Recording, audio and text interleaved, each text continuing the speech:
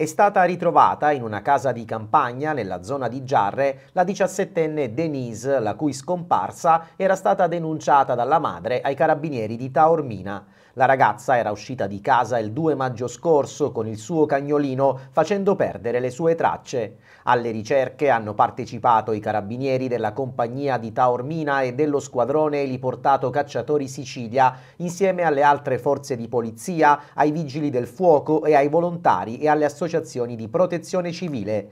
Le ricerche hanno consentito di individuare la posizione della diciassettenne rintracciata, come detto, in una casa di campagna nella zona di Giarre. Denise si era allontanata volontariamente dalla sua abitazione di Trappitello, frazione di Taormina, ed è stata trovata in buone condizioni di salute.